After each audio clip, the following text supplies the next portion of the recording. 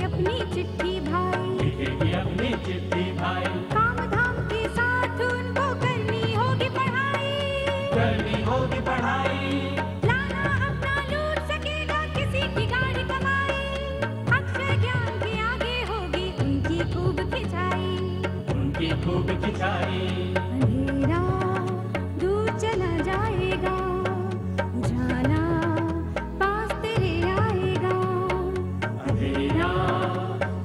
दूर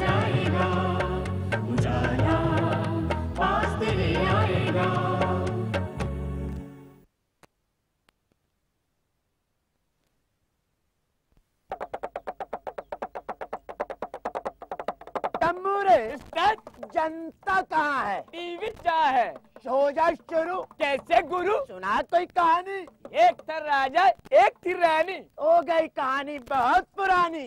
एक जंगल में रहता था एक शेर। रहता था तो रहने दे तुझको है क्या बैर? पेश है किस्सा अली बाबा और चालीस चोर। सुन सुन कर इसको हो गई जनता वो चंदा मामा दूर से। सुनाना भी मत भूल से। सुनाओ कैसी कहानी बोल मेरे उस्ताद। जो जनता को रहे बरसों याद इसी गाँव में रहती होनहार बीरबान एक औरत।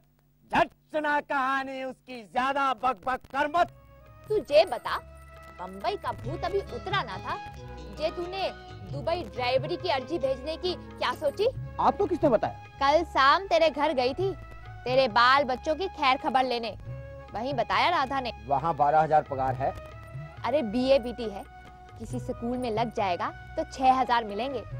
बीवी बच्चे साथ रहेंगे सो अलग। ऊपर से घर का अनाज दूध दही असली। खेत खलिहान की देखभाल माता पिता की सेवा का सुख। ये सब कुछ कम है क्या? पर मंगली का ब्याह जो करना पड़ेगा। सोलह साल की है मंगली। अगर छह साल से पहले उसका ब्याह किया तो तेरी खैर नहीं। पर बर तो अभी से ढूंढना पड़ेगा। अरे उससे आगे और पढ़ा। बर उसे खुद ही ढूंढ लेगा। पर मेरी रुकनिया तो अब 22 साल की होने को भाई। उसके साथ की शोलागढ़ की मीरा है ना? वे तो भगवान की दया से पाँच पाँच बच्चे हैं। हाँ और पांचवे बच्चे में उसका क्या कहते हैं बचना मुहाल हो गया था। अरे मंगल देव जी समझाओ इन्हें।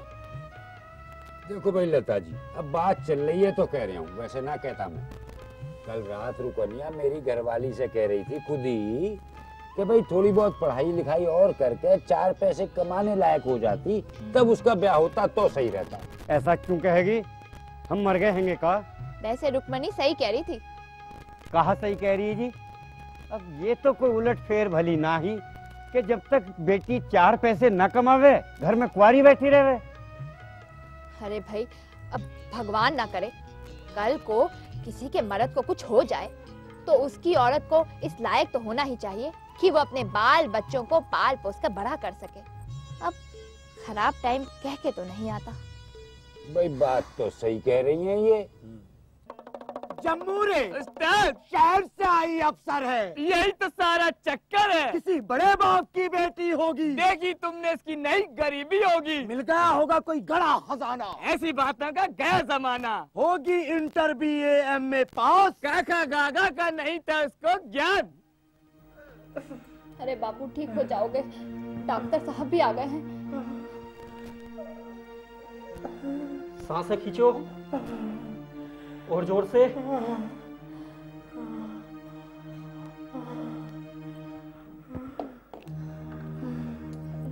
ठीक हो जाओगे जी। अरे ताऊ फ़िक्र मत करो। जल्दी ठीक हो जाओगे।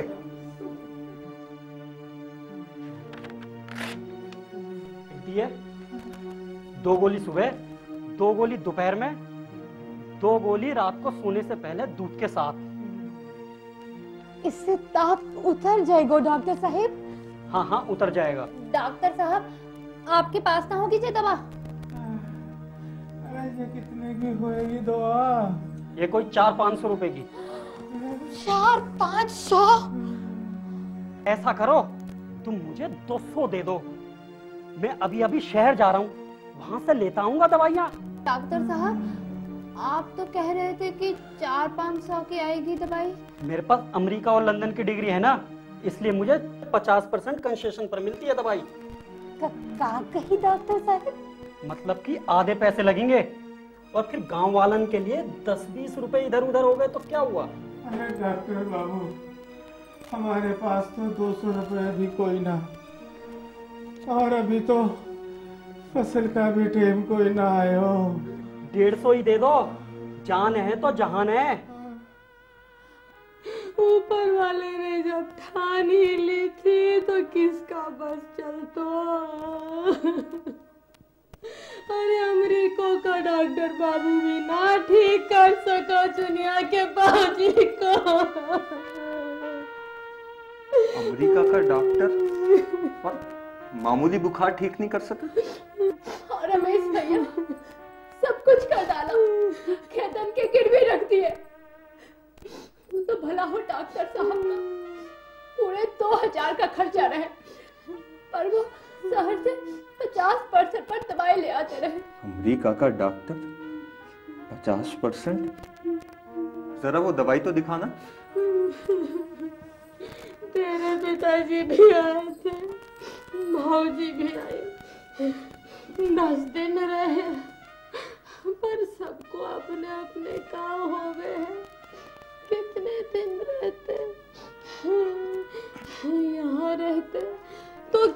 खलियान की देख रेख कौन करता?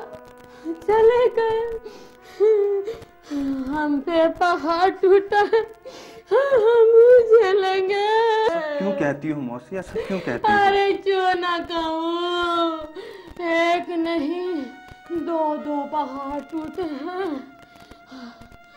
अरे एक दुनिया के बाबूजी की बेमौत मौत का पहाड़। और दूसरा हमारे सीने पे दुनिया की ब्याह की चिंता का पहाड़। चलो भैया। जे खा लेते तो क्या हो जाता? दो दवाई बची थी, ये भी खा लेते तो कहे को मरते मौसी ये तो पेचिस की गोलियाँ हैं। वो भी एक एक दो दो रुपए वाली। हाँ डॉक्टर साहब कहा कर रहे थे कि बुखार बढ़ गया है नीचे से ही उतरेगा। कहाँ है वो डॉक्टर? मुझे फ़ौरन उसके पास ले चलो। आखिरी बारी दबा दे के गाँव छोड़ गए। कह रहे थे कि और पढ़ाई करने फिनांस जा रहा हूँ। छह महीने बाद गाँव में अस्पताल बनाने की पढ़ाई करके लौटूँगा। तुझे डॉक्टर भी बना दूँगा। मौसी, बुरा मत मानना। याद है, मौसा से कोई पाँच साल पहले मैंने कही थी कि चुन्नी को स्कूल भेजा करो। अरे, ज़रूरत भर हिसाब किताब पढ़ना लिखना सीख लेगी तो घर के काम ही आएगा। लेकिन जानती हो मौसा ने मुझसे क्या कही थी? मौसा ने मुझसे कही थी, बेटा रमेश, घर का भला लड़की के घर में रहने सही होवे। अरे पढ़े लिखों के घर मौत ना होवे है। कैसी बातन करे है तू। वो डॉक्टर तुम तीनों को बेवकूफ़ बना गया। तुमसे हज़ार रुपए ले गया और दस बीस की उल्टी सीधी दवा तुम्हें पकड़ा गया। और वो कोई फ्रांस फ्रांस नहीं वो किसी और गाँव में अनपढ़ जनता को हज़ार हज़ार रुपए में मौत बेच रहा होगा। नहीं रमेश भैया डॉक्टर साहब तो बहुत ओ वो कुछ नहीं। अरे पाँच दर्जा भी पास होती तो कम से कम दवाई का नाम और दाम तो पढ़ लेती। कम से कम उस ढोंगी डॉक्टर की चाल तो समझ जाती। पर भैया अब अब पछताए हो क्या जब चिड़िया चुग गई खेत गलत उस्ताद भले काम में होती नहीं देर सवेर। पर बेचारी के पढ़ने लिखने की उम्र गई थी भी। कई उम्र के लोगों में चली पढ़ने की रीत। बूढ़ी घोड़ी लाल लगाम। सोता है क्या? आगे आगे देखिए होता है क्या? आगे कभी ऐसा नहीं होगा पढ़ लिख लेगी तो। पढ़ लिख लेगी तो कुछ घटेगा नहीं, अलबत्ता ज्ञान ही बढ़ेगा। पढ़ लिख लेगी तो अच्छे बीज और अच्छी खाद की सही पहचान होगी। पढ़ लिख लेगी तो रुपया इधर पोटली और उधर घड़े में नहीं रखेगी। दो पैसा बैंक में जमा करेगी तो दो के तीन मिलेंगे, और जो बचत होगी सो अलग। तू पढ़ेगी तो तेरी देखा देखी दो चार और भी पढ़ लेंगी। खामो खा यहाँ वहाँ की नहीं हाकेंगी। पढ़ लिख लेगी तो किसी ऐरे गहरे के पल्लू नहीं बंधेगी। पढ़ लिख लेगी तो फ़सल औने पौने नहीं बेचेगी। अच्छी फ़सल की अच्छी कीमत वसूल करेगी। पढ़ लिख लेगी तो महीने में हज़ार, दो हज़ार का काम धंधा भी हाथ आ जाया करेगा। पढ़ लिख लेगी तो गाँव समाज की कुछ काम ही आएगी।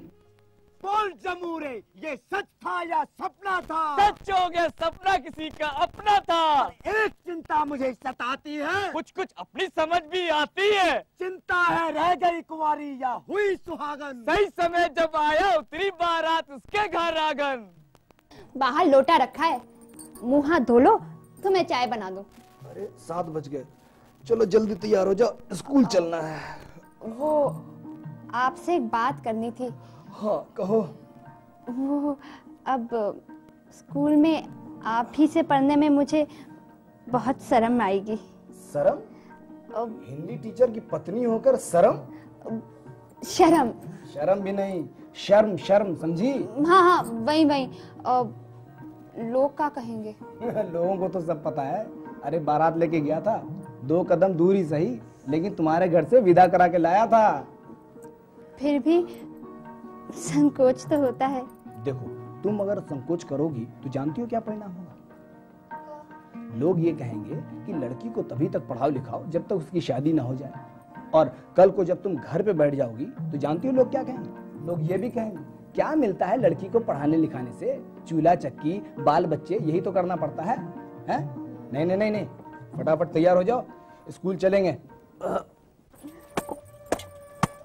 वैसे चुन्नी। एक बात तो बता। तेरी शादी को एक साल से ऊपर है गए। अब बच्चा बच्चा ना होया के या बीच में मेरे तो दो दो बालक हो गए। सो तो है। वैसे ब्याह के बाद तो कुंवारी की कुंवारी रही हाँ। वो दसवीं की परीक्षा थी ना इसीलिए।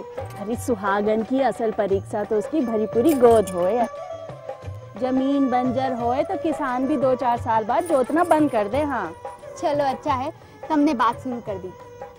वैसे बच्चे तो अपनी मन मर्ज़ी से होने चाहिए। लो या की सुनो।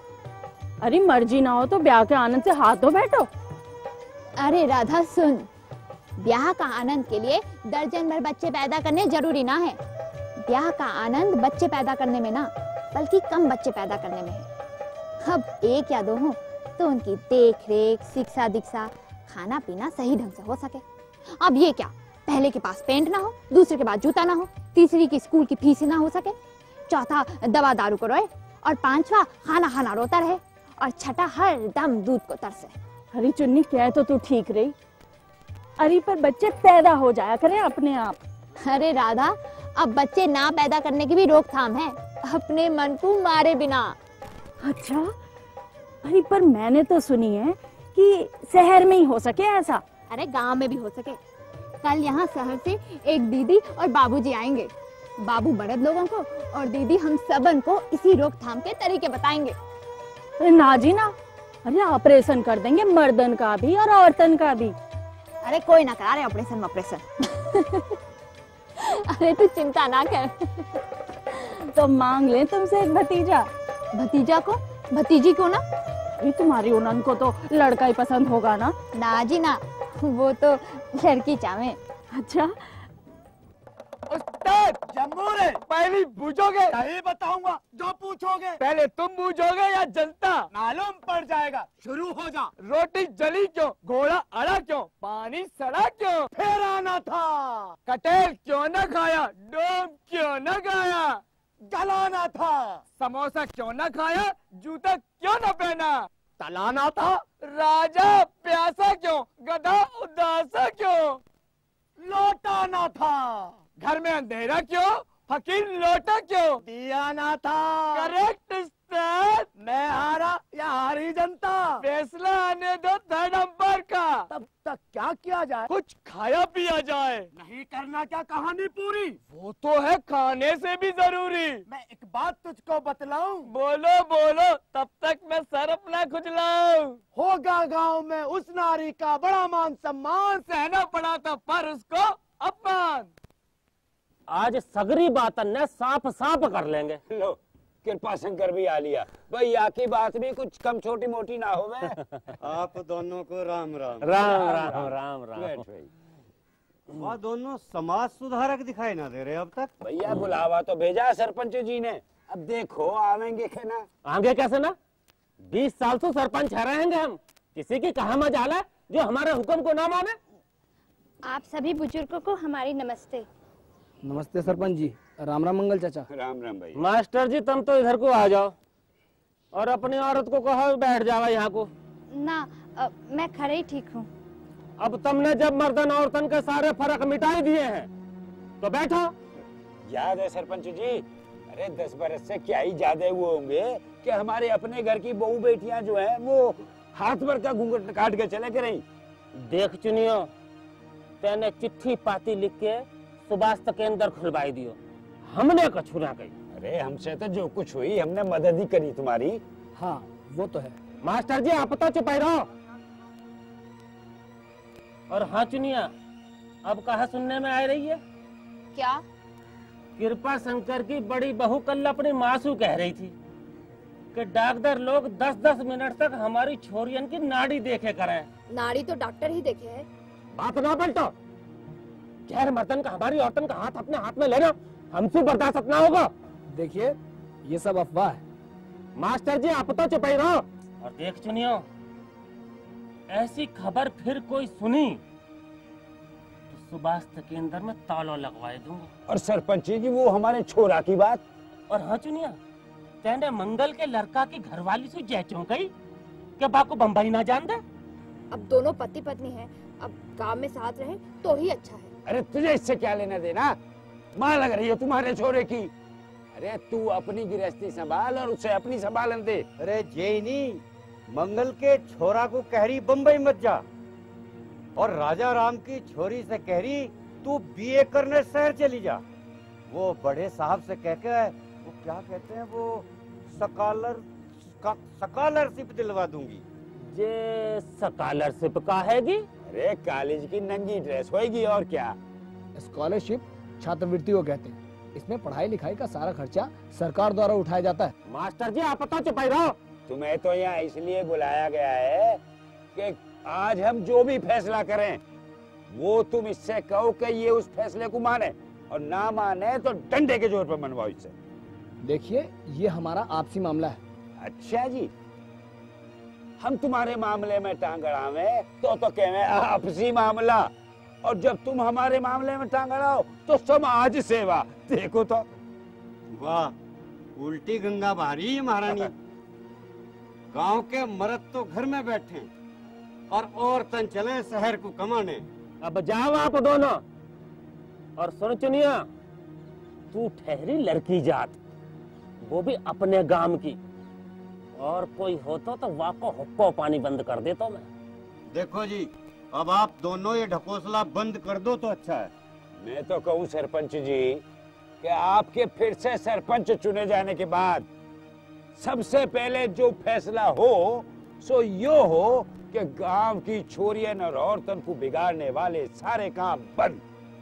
सुन लिया आप दोनों ने। बस एक महीना और है मैं फिर से सरपंच बनने में।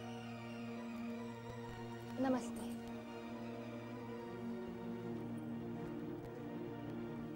जरा जरा से लौंडे लौंडिया हमारे सिर पे नाच रहे हैं। हैं? किए धरे पर फिर गया पानी। पर नहीं हुई यह खत्म कहानी। भैंस के आगे बीन बजाओ भैंस खड़ी पगुराए।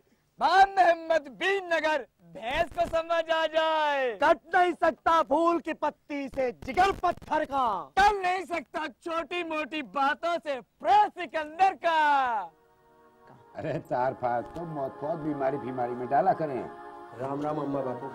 अरे सोम? सोम? अरे तू कैसे वापस आ गए रे? बेटा बम्बई ना गयो का? का हुआ? गयो था मैं अरे फिर काहेगा भैया? पाँच दिन पहले ही तो तेरा टिकट कटाया था। बापू सब एक ही बारी में पूछ लोगे क्या? या मुझे सांस भी लेने दोगे। पानी दूँगा। दू क्या? दे जल्दी कर। अरे बम्बई से प्यासा चला आ रहा है। जल्दी कर। इतनी मुश्किल से तो तीन हज़ार रुपया की नौकरी मिली होटल में। बाबू छोड़ आयो। तू ना जाने बापू। होटल का मैनेजर कहने लगो यहाँ काम करना है तो काकू का भी सप्लाई करना पड़ेगा। फिर क्या हुआ? होना क्या था? पुलिस ने पहले दिन धरने मोए कछु हुआ तो ना बेटा ठीक तो है? हमन ने सफ़ाई दी तो बड़ा अफसर कहने लगो छोड़ दो आदि मुजरिम ना है। बस पुलिस ने अपनी देख रेख में वापसी का टिकट कटवा के यहाँ भेज दिया अम्मा। अरे किशन कन्हैया ने लाज रख ली। लाज रख ली बेटा लाज रख ली। अम्मा लता बिल्कुल ठीक कह रही थी। क्या कह रही थी? वाह कह रही थी कि तुम्हें कैसे ना कैसे बम्बई जाने से रोक लूँ। बम्बई में बड़े बड़े बदमाश लोग अपनी तरफ़ के गाँव में पैसे के लालच में खतरनाक खतरनाक काम करवावे हैं हाँ। लो बताओ। और मैंने तो वाह छोड़ी से यही बात पे जाने क्या क्या कह डाली। शर्म तो ना आई उस बिन बाप की बच्ची को फटकार लगाते हुए। राम राम सरपंच जी। हियो कैसे? आपसे कुछ बात करना है? कहा बात करनी है? जे बताएगी। चल रही बता। बोल कृपा की बहू। आपको जो डाकदर की हम सबे की नबज देखने वाली बात बताई थी वो हमने झूठ कही थी। अच्छा तो तुम्हें चुनियों ने भेजो है? ना ना सरपंच जी। चुनिया ने तो हमें कसम दी थी कि हम किसी से भी इस बात का ज़िक्र ना करें। तो तने झूठ क्यों बोला? मायके से आदत पड़ गई है। वहाँ पे औरतन के पास खाली समय में कुछ काम धंधा तो रहता ना है। हम्म और जहाँ गाँव में औरतें खाली समय में कोई सिलाई करे है कोई कढ़ाई करे है कोई अचार बने हुए हैं और कोई पढ़ाई लिखाई भी करे हैं। हम्म। सब लता दीदी के कारण।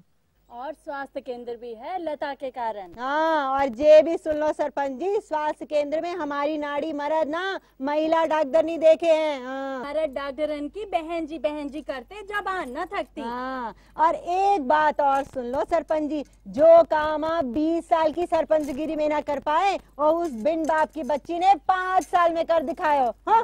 चलो री चलो जी।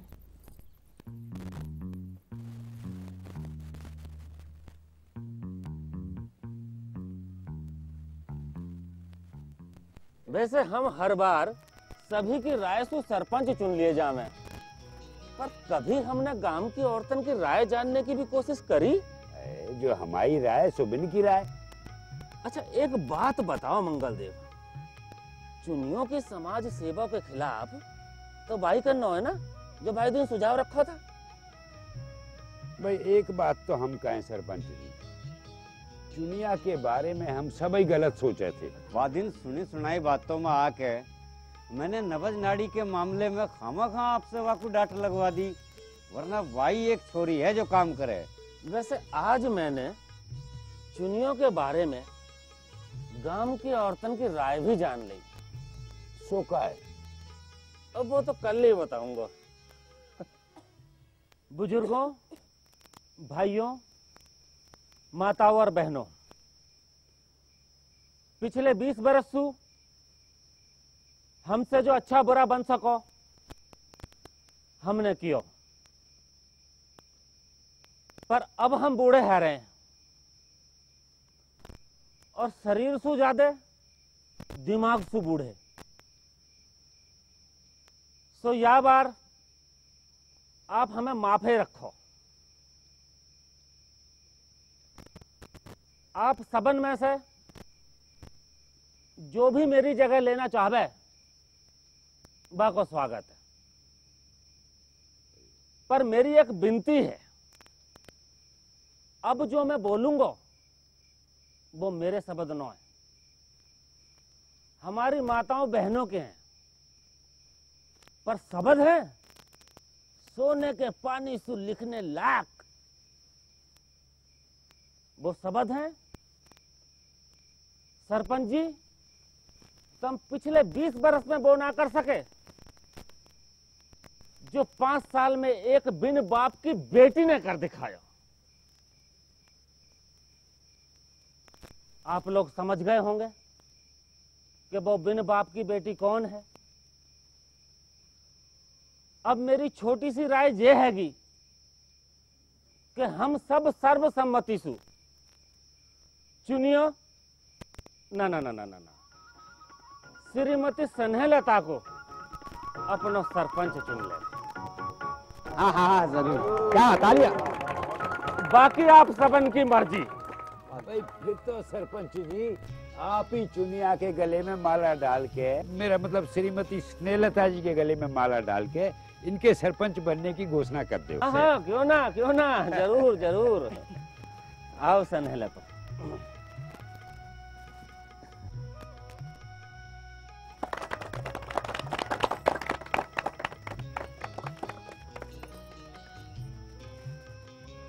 अरे भाई हमारे गाँव में पहली बार महिला सरपंच हुई है। आप औरतन में से भी तो आओ एक एक आओ और माला डालो।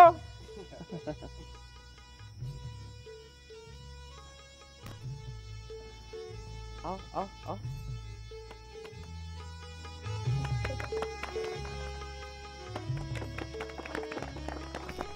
एक माला मैं भी डालूँगा। हाँ डालो। डालो डालो।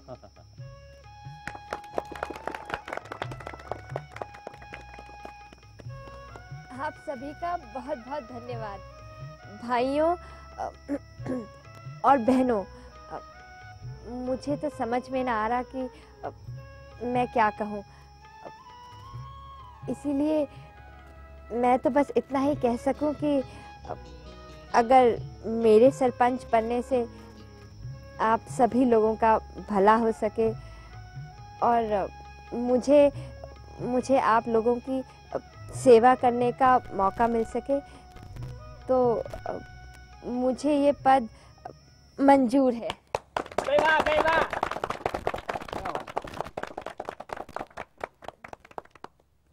जम्मू रे। हुई कहानी खत्म और लेंगे लंच हम कब? थर्ड अंपायर का फैसला जब आएगा तब। क्या हुआ इसका मतलब? बख्श दे जनता को अब। बहुत जल्द मिलेंगे। फिर हम सब।